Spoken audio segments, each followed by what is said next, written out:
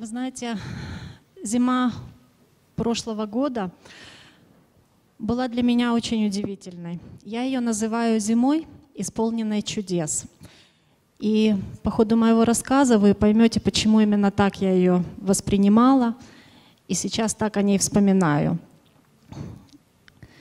9 декабря 2015 года мы с моей девятилетней дочерью ехали сюда вечером в церковь, но на пешеходном переходе недалеко от церкви нас сбила машина. Должна сказать, что мы достаточно аккуратные пешеходы, и тем более рисковать жизнью ребенка я бы точно не стала. Но так произошло.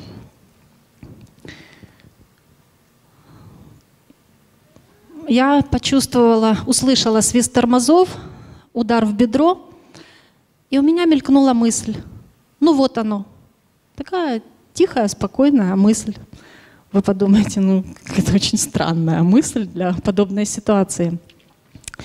Дело в том, что с этой дорогой, которую мы переходили в церковь, э, связано практически все наши передвижения по городу. И в школу Даша добиралась, переходя эту дорогу, и в церковь мы постоянно тоже пользовались этой же дорогой. И неоднократно мы были свидетелями достаточно э, таких э, серьезных ситуаций, которые чуть-чуть не заканчивались трагически. И вот почему-то у меня э, было такое ощущение, что со мной что-то случится именно на дороге.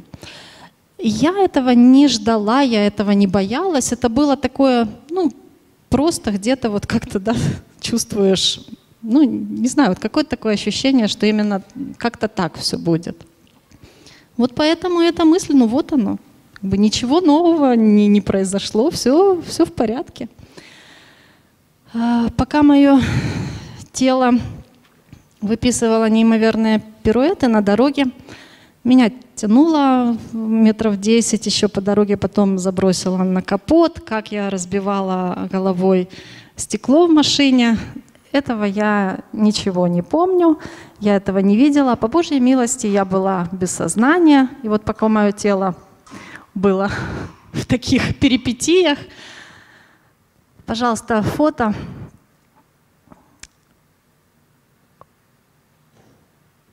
Очень красиво.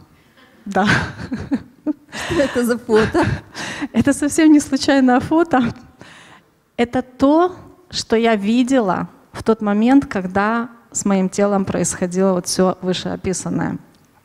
Это был необыкновенно красивый лук. То, что вы видите на фотографии, это, ну, я не знаю, это какая-то просто э, часть той прелести и той красоты, которую я видела.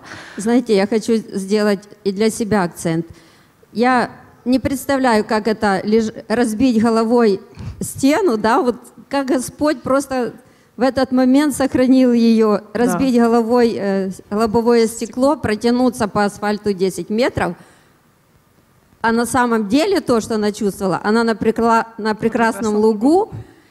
И что же ты чувствовала, Леночка?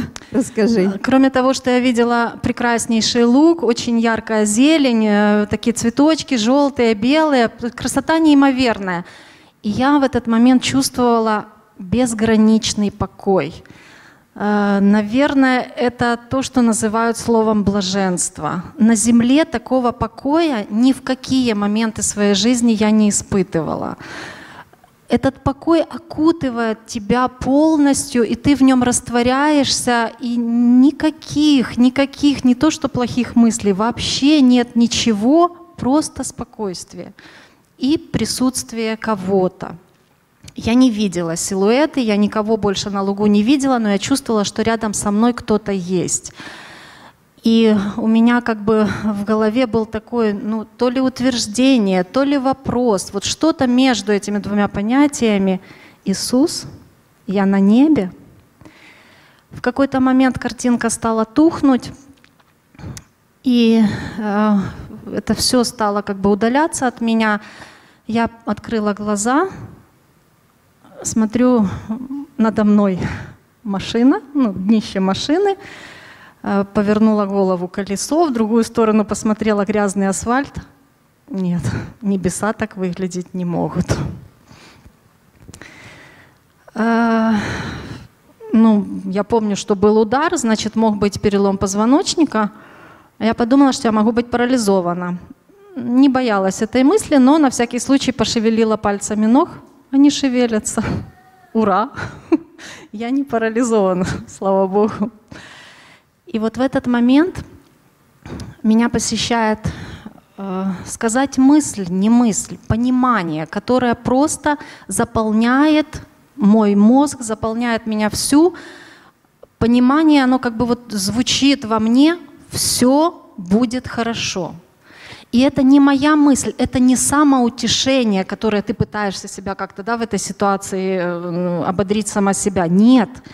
Я точно знала, что это Бог, вот это обетование Божье, Он мне говорит, что все будет хорошо. Вы знаете, я верила. Я просто безоговорочно этому верила. Повернула голову в сторону, увидела, что моя Даша лежит очень далеко от меня. И понимая, что кто-то рядом со мной стоит, спросила, как моя девочка. Мне сказали, что с ней все хорошо, она в сознании, не переживайте. Э, мелькнула мысль о том, что меня обмануть сейчас так легко. Я не вскочу, не проверю. Но тут же вот это понимание, все будет хорошо, оно просто вытесняет все другие мысли. И я просто спокойно принимаю и верю, я абсолютно верю тому, что и с Дашей тоже все хорошо. А, никакой тревоги. И в этот момент я даю такие совершенно четкие указания вот тому, кто рядом со мной, это оказался водитель той машины, которая сбила нас. Я даю четкие указания, чтобы мне дали телефон, я сама э, делаю звонок одной сестре из нашей церкви, сообщаю, что произошло. Таким образом, церковь это, узнала это первая. сестра Валечка Костышина. И вы знаете, она сразу же сообщила в э, СМС в церковь, церковный вайбер. И я знаю, что сразу вся церковь стала на молитву. Это это ощущалось, я понимала, что Бог слышит каждую молитву, каждое молящееся сердце Он видит, потому что действительно все, что произошло, это было просто чудом. После этого я понимала, что ну, теряю сознание снова и попросила позвонить нашему врачу, ну вернее Дашиному даже врачу, Почему? Ну, кажется, он, он никакой связи не имеет к нашей городской больнице, то есть совершенно он киевский невропатолог, но, как выяснилось уже буквально на следующий день, именно через него Господь показал нам правильное направление для лечения и восстановления э, моего здоровья. То есть это была не случайность. Мне Господь давал четкие как бы, мысли, да, которые я использовала и которые потом сработали исключительно во благо. Э, после уже из скорой помощи звонили моим родственникам. И то, что я в скорой помощи была без сознания, это тоже вижу в этом неимоверную Божью милость, потому что те короткие моменты, которые я приходила в себя, каждый полицейский, лежачий, каждая кочка, каждая ямка отдавалась в теле просто невероятной болью. И слава Богу, что я снова теряла сознание и просто не была вынуждена эту боль терпеть. Леночка, тебя повезли в Бучу, да? Да, сразу? да, меня повезли в Бучу, хотя приехали еще две скорые из Киева, но поскольку это все произошло в городской черте, меня повезли в Бучу. В больнице началась новая реальность, которую я для себя назвала «перекладываем». Именно по этой команде, перекладывая меня, ну, скажем, с каталки на, на кушетку там, и так далее, мое тело просто орало от боли. Это было нечто, ну, сказать сильная боль, это не сказать вообще ничего. И тогда я поняла, что боль в скорой, ну она еще и болью не была. Потому что терпеть это, это было просто невыносимо. Врач, который меня осматривал, э, он расспросил тех, кто приехали уже со мной, расспросил, как и что произошло, глядя на меня. Он сказал, вы понимаете, что это чудо Божье? Вы понимаете, что в таких авариях не выживают? Это действительно милость Божья, это действительно Божье чудо, что я не просто выжила. У меня, к удивлению всех врачей, не было ни одного внутреннего кровоизлияния, ничего, кроме того, что мне в Буче диагностировали четыре перелома костей таза. Такая симпатичная бабочка. И... Леночка, я да. знаю, что тебе врачи очень прогноз такой дали. Да, очень, очень оптимистичный прогноз. Э, ну а что же дальше? А дальше полежите у нас две недели, а потом шесть месяцев дома.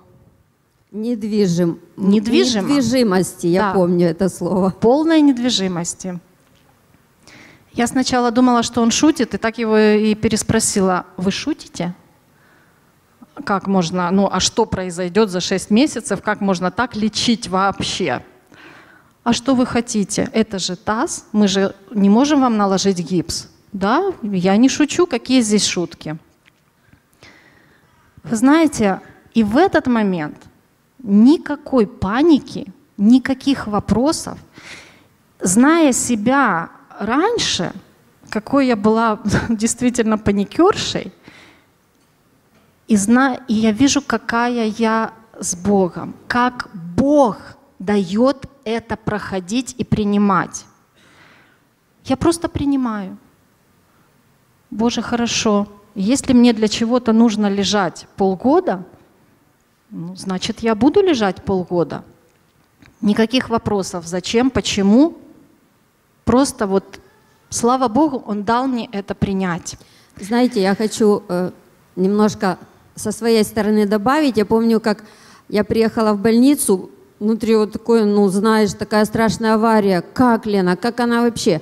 И вы знаете, я видела ее, и моя вот это вот волнение, паника, наоборот, утихала, глядя на нее. Она излучала какой-то мир такой, смиренность. Вот кто был, кто знает, подтвердит, да, сестрички? Мы приезжали, мы делились, мы приезжали, и от Леночки брали вот это вот какое-то утешение, потому что просто Господь реально был с ней. Я знаю еще, Леночка, ты рассказывала, я знаю, ты готова рассказать, что вот эта смиренность и принятие вот этой ситуации, Господь деликатно тебя, можно так сказать, подготовил дав какие-то тебе такие знаки предупредительные. Расскажи о них. Да, действительно, э, когда я на следующий день уже в больнице анализировала, просто вспоминала то, что происходило со мной буквально за последние дни, я поняла, что действительно Господь, вот Лариса правильно сказала, Он деликатно меня подготовил к тому, чтобы все это принять. А, за несколько дней буквально мы понимали, что тогда в среду, это все в среду произошло, нам нужно будет с утра поехать э, к Дашиному доктору, ей нужен, нужен будет очередной массаж.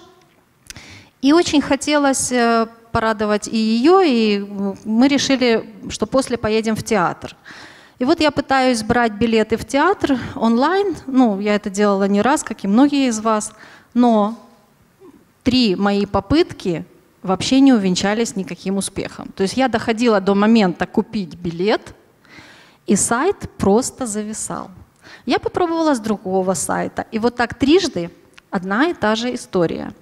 И тогда я сказала, Боже, если ты не хочешь, чтобы мы попали в среду в театр, я больше не буду даже пытаться. Мне достаточно, мне понятно, не надо. Э, дальше, буквально накануне, моя Даша заинтересовалась марками машин, чего никогда в жизни не было. Она стала спрашивать, мама, что это за машина едет, а как это называется? Я ей называла ну, то, что знала, называла. И получилось так, что пять Тойот ехали просто одна за одной. Она говорит, о, мам, я Тойоту уже выучила, я теперь знаю этот знак хорошо, я знаю эту машину, я их буду считать. И весь вторник и всю среду она считала Тойоты. Где бы мы ни находились, ну, как вы думаете, какая машина нас сбила? Нас сбила 59-я Toyota. Э, это было еще не все. В тот же день, в который мы попали в аварию, э, у нас был телефонный разговор с мужем, он работает за границей. У нас сложные были отношения, скажем так, и разговор был тоже, ну, мягко говоря, неприятный. В конце разговора он мне просто сказал, ну вот пусть твои церковные э, о тебе и беспокоятся. Какие же это пророческие были слова. Буквально через пару часов я поняла, что такое забота церковных. Потому что действительно вся церковь и в молитве, и физически. Что ты имеешь семью. Да, безусловно. Безусловно. Муж далеко, а ты имеешь да, семью. Слава да, Богу. Слава Богу. Да, Леночка, я еще э, дальше хочу тебя спросить. Э, ты была в, больни... в Буче несколько дней, три или четыре, да, по-моему? Тебе там ничего практически не делали, и во время перевода тебя из Бучи в областную Бог также по-особенному был рядом. А ведь Он сказал в своем слове, да, не бойся, я с тобой. Расскажи вот этот момент. Это был тоже удивительный момент. Это для меня это тоже было чудо. Э, меня перевозила бригада Бориса, и когда меня уже буквально выкатывали из палаты, сестрички, которые помогали собрать мои вещи, уже не успевали положить никуда Библию, кроме как мне на грудь. И вот у меня на груди лежит Библия, я лежу на каталке, и фельдшер из бригады наклоняется ко мне и на ухо шепчет, не переживайте, все будет хорошо. Девочки, те же слова, все будет хорошо. Меня просто охватила такая волна ну, наверное, даже радости. Я ему говорю, что я не переживаю. Я знаю, все уже хорошо. Он говорит, я имею в виду ту книгу, которая лежит у вас на груди. А я ответила, что я бы сказала, что это автор той книги, которая лежит у меня на груди. Значит, врачом оказался наш брат, и он да, тебя тоже, Бог был, послал да. тебе да, это был верующий человек верующий, из Киевской вер... церкви. Да. Вот так Бог показал, что я рядом с тобой. Я рядом во всех обстоятельствах твоей жизни. И напомнил, что таки все будет хорошо. В областной тебя продолжили обследовать и... Да, в областной продолжили обследовать, обнаружили еще и перелом крестца. Пятый а, перелом. Да, это был пятый перелом. Э, в тот же день, когда я поступила в областную, на вечер была назначена моя первая операция. Что мне должны были делать, я не совсем понимала. Э, врачи говорили о том, что надо поставить аппарат. Какой аппарат и как он должен выглядеть, я, ну, я даже себе близко не представляла, что это такое. Э, Но... И, да, можно я да. тоже как бы мостик такой. Я знаю, что Бог тебя через э, операции восстанавливал, правильно? Потому что бытует ошибочное мнение у людей, что Бог исцеляет верующих по молитве, там, прикосновением сверхъестественным. Но знаете, Бог суверенный в выборе методов удаления болезней. И Он, и нам, людям, не выбирать эти методы и не решать, как Господу действовать. Поэтому Господь провел Леночку через операции – как это было? И сколько их было у тебя, расскажи. Это были две операции. Первая была просто удивительная. Вот та, в которой мне должны поставить Вы слышите? Просто удивительная. Это, чтобы человек сказал, что операция была удивительная, это должен быть Господь с тобой Однозначно. в этот момент. Расскажи, Безусловно. Пожалуйста. Э, я лежала на каталке под операционной, и молилась, молилась такими словами. Господи, я знаю, что Ты всегда рядом со мной. Я знаю это своим разумом. Боже, я Тебя очень прошу, дай мне это почувствовать. Может быть, это была неразумная, неразновенная молитва. Я не знаю, как вы это расцените, но именно так я молилась. Во время операции Бог меня провел просто изнутри. Я вижу себя изнутри. Я прохожу вот как бы слева направо. Внутри я вижу свои органы, я вижу свои клетки. Я вижу, как в моей кости с правой стороны всверливаются металлические штыри. Но в это время я чувствую, я просто окунулась в безграничную любовь. Вот по-другому я это назвать не могу. Это когда тебя окутывает со всех сторон, обнимает, и ты весь, ты просто весь растворяешься в этой любви. И я знаю, это Бог. Он тут рядом со мной. Он рядом со мной вот в этот момент, как, впрочем, и всегда. Когда я стала выходить из наркоза, я поняла, что я сожалею, что вот это ощущение начинает теряться. Первое, что я произнесла шепотом, конечно, я сказала «Слава Богу». Врачи переспросили медсестру, что она сказала. Медсестра так передернула плечом «Слава Богу». А для меня в этих словах было все. Я действительно благодарила Бога за то, что произошло, за то, что я чувствую Его так близко, за то, что для Него нет мелочей в моей жизни. Для Него важно абсолютно все. Когда меня... Э, да, будьте добры, следующее фото. Вот так выглядел аппарат который, который Господь показал который, тебе во да. время операции, да? Понимаете, я, я знаю, что если бы я увидела такую э, конструкцию на себе без предупреждения, наверное, была бы, мягко говоря, ну, где-то ну, паника была бы. Но я уже знала, что в моих костях э, стоят металлические штыри, и да, вот именно вот так выглядел Сколько по времени аппарат. эта операция должна была длиться, Лен? Э, эта операция, здесь как раз все, это, все было, это да, да, да, да, да, да. Переключите, пожалуйста, с этой фотографии, чтобы ее просто... На лух. да, на лух, лучше на лух, спасибо. Э, следующая операция была запланирована буквально, мне сказать, через, день, э, через 2-3 дня. Вам сделают вторую операцию, вам поставят металлические пластинки. То есть основная операция меня ждала впереди. Но это были, опять же, планы врачей. У Бога были совершенно другие планы. Операцию мне смогли сделать только на десятый день, потому что я все это время была в очень высокой температуре. А, можно удивляться и говорить, ну почему, почему нельзя было как-то, зачем, собственно, еще и температуры только не хватало. Позже выяснилось, что для как бы, закрытия всех юридических моментов мне нужно было находиться в больнице как минимум 21 день. То есть степень тяжести потерпевшего зависит и от количества дней, которые он находится в больнице. И вот именно эта температура – и то время в Буче, которое меня не выпускали, да, а держали там пять дней. Вот это все сложилось в необходимые нам дни, вот, чтобы закрыть как бы вот, юридический аспект. А еще эта температура помогла да. врачам. Бог через эту температуру помог что?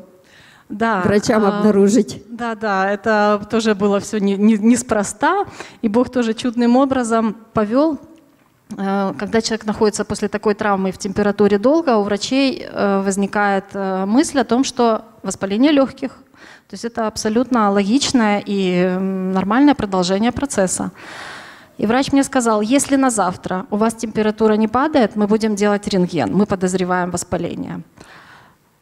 Я ему сказала, что у меня нет воспаления. Откуда вы знаете? Говорю, я верующий человек, и мне Бог дает такую уверенность. Знаете, когда вам Бог дает какую-то мысль или в чем-то уверенность, вы сами в этом не сомневаетесь. Вы в этом становитесь уверенным. И поэтому я имела вот такое дерзновение сказать об этом. На врачей это особого впечатления, конечно, не произвело, и мне так и сделали рентген. Ну и Бог показал, что, оказывается, у меня еще и перелом ребра.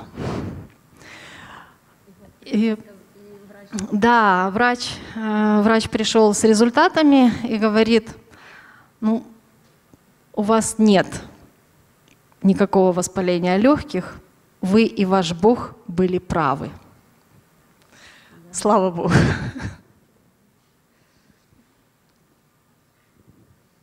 Дальше, дальше была таки вторая операция на десятый, да, не на третий день. И удивительно вот то, о чем Лариса спрашивала уже о времени.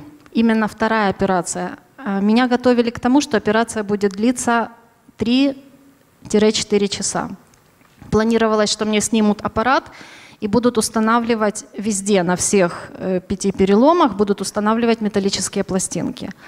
Буквально перед самой операцией врачи решили иначе. То есть я понимаю, что Господь повел их и показал им, дал им э, другое решение этого вопроса.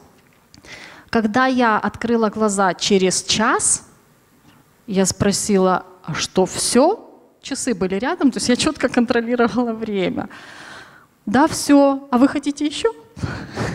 Нет, больше я не хочу. Но мне объяснили, что Врачи решили не снимать аппарат, то есть кости, которые впереди, э, будут срастаться тем, что их держит аппарат, а сзади, со спины, мне да, поставили два металлических винта. Но два металлических винта — это не 10 пластин, а пластины надо было бы тоже скрутить дополнительными винтами. И час в наркозе это не три часа в наркозе. Божья милость. Как? Ну, я, я по-другому назвать это не могу. Божье водительство. Вот так он использовал врачей, чтобы э, облегчить, чтобы проще да, сделать э, вот этот мой процесс. И и твой процесс восстановления, расскажи. Да, и мой как происходил? процесс восстановления пошел уж точно не так, как прогнозировали в Буче. Я хорошо помнила о тех шести месяцах, но на шестнадцатый день от аварии я уже смогла, благодаря этим операциям, я смогла самостоятельно повернуться на бок. Через месяц от аварии меня уже забрали домой, и я училась ходить на ходунках – на 53-й день, фотографию, пожалуйста, Марк. На 53-й день я была у нас в собрании. Это был просто ну, счастливейший, наверное, если можно Вы так слышите? говорить. Врачи сказали 180 дней недвижимости, а Леночка на 53-й день славила Господа в церкви. Да. Давайте поблагодарим Господа. Слава Ему, да. Дальше, через 4 месяца от той же аварии, я уже смогла вернуться в служение воскресной школы. Ну, правда, меня привозили и увозили машиной. Но без ходунков, без коляски я ходила уже ножками. И через 6 месяцев, через которые я должна была бы только учиться ходить, только учиться вставать даже, я уже приезжала в церковь маршруткой. Господь позволил мне служить на неделе спорта. Казалось бы, самые тяжелые дни позади. Операции, реабилитация, да? что грозовые тучи уже развеялись. Но, как оказалось, все самое страшное тебя ожидало впереди. Да, действительно так. Вы знаете, если Бог благословляет, Он благословляет очень щедро. Но это не гарантирует нам того, что с нами уже ничего не может случиться, не гарантирует нам безоблачной жизни. Спустя два месяца после нашей аварии, когда я еще ходила на ходунках, 13 февраля прошлого года мой сын со своей семьей попали в аварию. Это была страшная авария, лобовое столкновение двух машин на достаточно высокой скорости. Марк, пожалуйста. Вот так выглядела машина моего сына. В машине, с которой они столкнулись, сразу же погибла женщина на пассажирском сидении. Водитель получил очень серьезные травмы. Он остался жив, слава Богу. В нашей машине Димона жена получила, ну скажем, травмы средней степени тяжести. У Димы удивительно, у него был перелом лодыжки, разрывы связок. А вот Евочка и дочка, моя внучка, которая на тот момент была годик и полтора месяца, она погибла.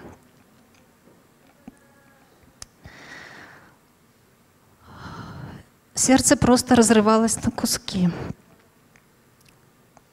Но вы знаете, когда рядом Бог, Он берет твое раненое сердце в свои руки, и Он исцеляет. Он исцеляет своим присутствием, Он утешает своим утешением, Он своей любовью залечивает и покрывает все. Благодарна Богу за то, что я могла быть в какой-то степени утешением для своих близких, которые, не зная Бога, говорили, ну за что такое маленькому ребенку, бедная девочка. Но я им говорила, я им говорила, поймите, Евочка сейчас на небесах.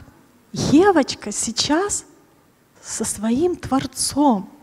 Ева сейчас окутана такой любовью, которую мы бы на земле ей не смогли дать. Ну не способны мы, люди, так любить. Евочка сейчас там, где нет ни боли, ни слез. Это нам здесь предстоит еще научиться жить без нее. Нам здесь, безусловно, трудно. Вы знаете, Господь настолько чуткий, настолько милостивый. Когда ты приходишь к Нему со своим разбитым сердцем, Он дарит утешение. На Его плече можно выплакать все. Он принимает тебя такой, как ты есть. Буквально растоптанный от этого горя, но Он поднимает. Он поднимал меня, в частности, и через книги, которые мне давали читать в это время. И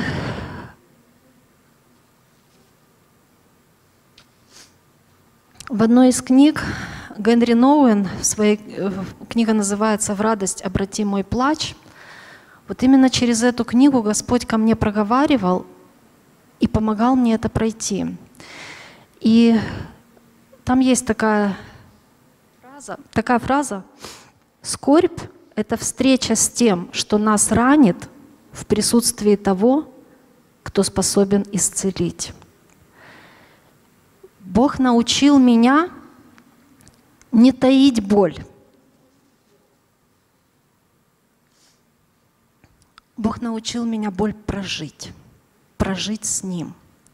Это возможно. Бог показал мне, что не надо стараться быть сильной, не надо делать вид, что я держусь, я не плачу и плач, плакать где-то просто в подушку. Не надо этого делать. Если кто-то переживает сейчас что-то подобное, помните, вы имеете право на эти эмоции. Вы имеете право на то, что если вам больно, говорить о том, что вам больно.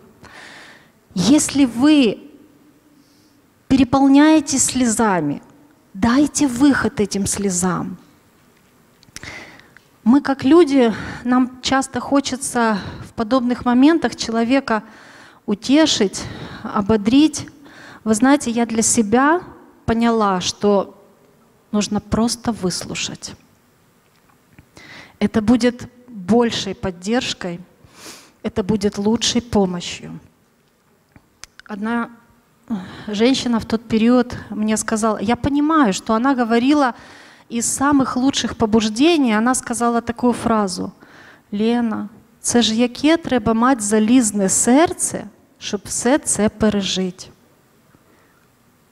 Оно не железное, оно не железное. Но только Бог дает нашему сердцу, только Бог дает нам возможности действительно это пережить и пройти. И когда мы эту боль переживаем с Ним, боль уже не имеет власти над нами. Апостол Павел в послании к римлянам 8.28 написал, «Притом знаем, что любящим Бога, призванным по Его изволению, все содействует ко благу». Леночка, скажи, какие блага ты имеешь от того, о чем ты сегодня, сейчас только что нам рассказала, пожалуйста. Действительно, Бог, Он не творец зла. Но то, что с нами происходит, те нехорошие моменты, трагические моменты, Он может все использовать нам на добро. Я понимаю, что, наверное, далеко не все я еще осознаю, и какие-то уроки я еще вынесу со временем. Но на сегодняшний день я знаю точно, Именно через эту аварию наши отношения с мужем наладились. Бог в одночасье изменил два сердца. Слава Ему и хвала за это. Но на этом чудеса не закончились.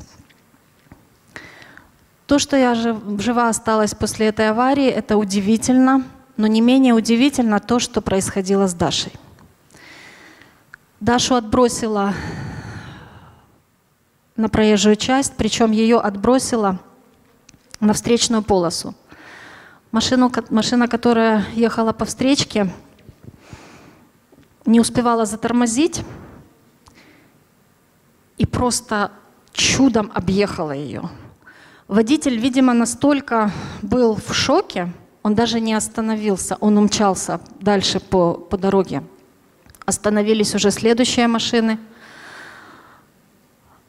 Получается, что Дашу как бы отбросила. Но кроме ушиба локтевого сустава, Даше ничего не диагностировали. Более того, она была в очень светлом пальто, а на дороге было достаточно грязно. На пальто не было даже следов грязи. Я не знаю, как вы себе это представляете, но для меня это одно. Бог взял ее на свои руки и просто переложил. Он просто перенес. Вот так как я считаю, что Он подхватил меня на свои руки во время удара продолжает нести до сих пор – вот так и Дашу. Это еще далеко не все. Вы помните, я говорила, что мы с Дашей должны были ехать к врачу. Это неспроста, потому что у нее с самого детства были очень серьезные проблемы со здоровьем. Она с рождения была очень метеозависимая, но к полутора месяцам это прошло. И до четырех лет мы радовались тому, что ребенок рос очень крепкий и здоровый. В 4 годика она стала падать в обморок при смене погоды. Обмороки становились чаще и чаще. Потом они переросли в очень страшную головную боль. С этим справляться было очень сложно. Шли дни, шли годы. Врачи не знали, что делать. Нам давали какие-то советы, мы их принимали, пробовали, но абсолютно ничего не помогало, и состояние только ухудшалось. И вот той осенью, которая предшествовала нашей аварии, всю первую четверть Даша вообще не ходила в школу.